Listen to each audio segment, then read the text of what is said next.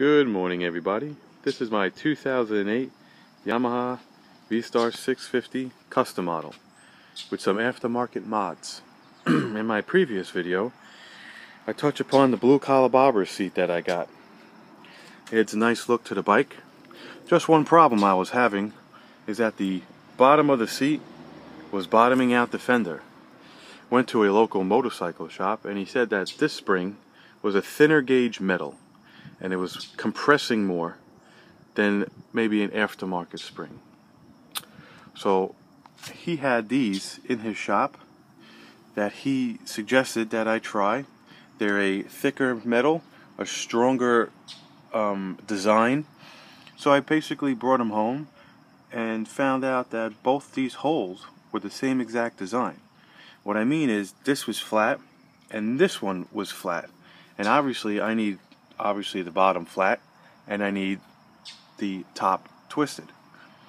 So in a vertical um, motion, just like this, I had to put these clamps in a vise. I had to heat up this corner and basically take this loop and twist it from horizontal to vertical. And uh, just by sheer luck, both sides, I did it in one shot each. I test fit them and I didn't have to reheat them. And they sit and work perfectly. I had them the other way, sitting this way. What I was finding is that they weren't compressing as much when I was uh, jumping up and down on the bike and also riding, but the seat, obviously, I was riding most of the cushion and not the springs. So he also suggested put it the other way because now the springs I got to ride on, on these flex points. The bottom screw is tight, but I can't twist it now, but these, this screw and this uh, nut with a nylon in there, it's, it's loose enough now. This piece of metal, kind of they move together. Um, also in this in this one, it was also su suggested that I never really tighten the top, so because when it moves, you, you, you want it to, you know, move.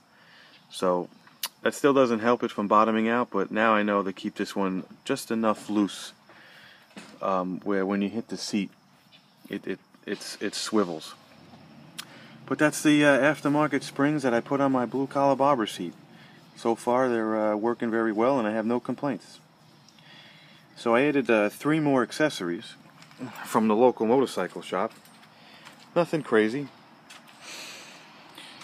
I added a outdoor thermostat and a quartz clock that fit right on the handlebars.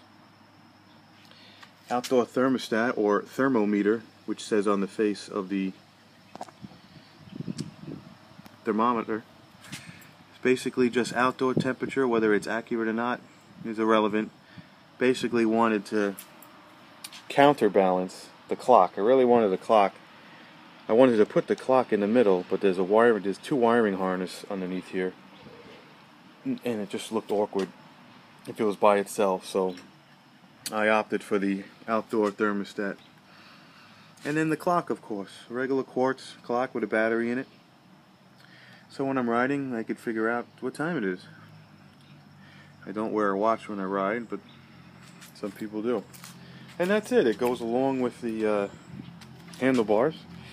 A nice rubber seal on both of them so when you wash the bike you don't get any water in the lens. They match the chrome look of the handlebars and they're attached with two Allen keys and they're just compression fit. Anywhere where there's a round cylinder on your bike, you could put these. Obviously they suggest handlebars. I think they add to a nice little look. Maybe not too crazy. And the third accessory would be this cramp buster. Exactly what it is. You'll be riding on the highway. Your palm will sit right here and your fingers will be free and you could ride the throttle with your palm. So if you're doing 70, 80, even 90 and your hands are like this, your fingers get cramped. But when you let go of your fingers, sometimes your thumb has to hold the throttle so the uh, you don't bog down and then the engine speed slows you down doing 70 on the highway and now someone's up your ass.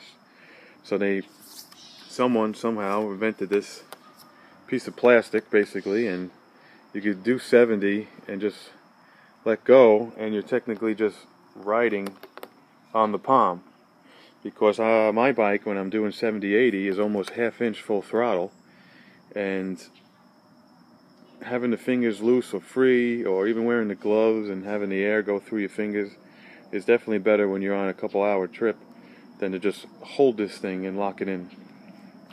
So that's the uh, cramp buster also got at a local motorcycle shop. And for right now, that's it, folks. A couple accessories for the summer of 2013.